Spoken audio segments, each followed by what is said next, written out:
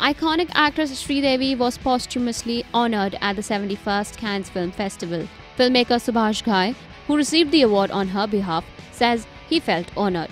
Ghai shared a few photographs of himself while receiving the award on Twitter and captioned it, it was honored to receive the award on behalf of legend Sridevi Kapoor at Cannes Film Festival yesterday for her outstanding contribution in Indian cinema and shared my experience with impeccable, imitable actor to Western audience hosted by Titan Reginald F. Lewis Film Honors.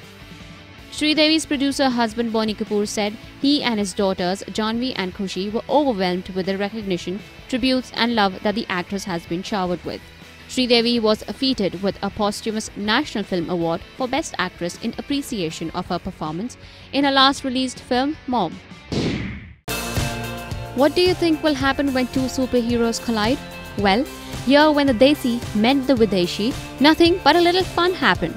At the special screening of the fictional film Deadpool 2, Harshvardhan Kapoor, who plays a superhero in his next title Bhavesh Joshi Superhero, was present at the premiere in his superhero avatar. Check him out here having mad fun with the Deadpool mascot at the screening. Also joining them was actor Varun Dhawan, who contributed to their mischief. Kunal Khemu was another actor who played around with the international superhero, showing us glimpses of his inner action hero. Earlier, we saw Ranveer Singh turn naughty with the Deadpool mascot when he was seen spanking one of the mascots. Meanwhile, Harshvardhan Kapoor's Bhavesh Joshi superhero will now see a clash with sister Sonam Kapoor's Veere Di wedding on 1st June. Shahenshah of Bollywood Amitabh Bachchan blew away everyone when he unveiled OnePlus flagship OnePlus 6 in Mumbai, a first in the OnePlus lineup featuring an all-glass design. The 102 not out actor became the brand ambassador of the Chinese smartphone company OnePlus earlier this week.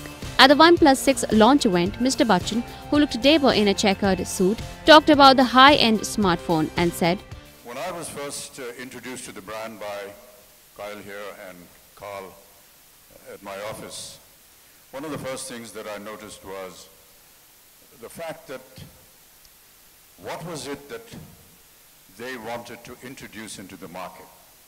And I clearly remember Carl saying, we wanted to produce something very unique something very different, something young, and something that perhaps stood out in the market. I've always believed that in today's times, the mobile phone has become an alter ego for each one of us. Each one of us has a phone, and every time I see someone holding a phone, it somehow gives me the impression of what this guy is all about, what he's going to say, what he thinks of himself. When I hold a OnePlus 6 in my hand, I feel superior. And that is what I feel is my alternative. The mega launch was hosted by Vijay and host Gaurav Kapoor. The event was also attended by Bollywood actress Aditi Rao Hydari, who took some selfies on stage with Amitabh Bachchan during the launch. The International Indian Film and Academy IIFA returns back to Bangkok after a decade for its 19th edition. Now, a press conference was held for the same where celebrities Karan Johar, Shahid Kapoor, Dia Mirza, Ranbir Kapoor and Kartik Aryan were seen in attendance. During the interaction, watch how Ranbir Kapoor's butt suddenly sparks a conversation. The butt? It was a terrible What butt an if, as well. yes. Will there be a butt in IIFA as well? I'm not saying anything else. Where's the if? If you saw the button Saawariya, where would you suggest the if lies? Will there be a butt coming to life? No, no, I'm not interested in the but, yeah. You might be interested in the but. What about the if? The if. Did you hear what Dia had to say? It's not like it leaves his body and walks away. It's always around. Well, whether or not we'll be able to see Ranbir's butt, the gala, however, will take place between June 22nd to 24th. With an ensemble cast in Race 3 of almost six actors, Saqib Salim being one of them, says that he was excited as he was working with Prem, Mr. India, and Soldier at the same time.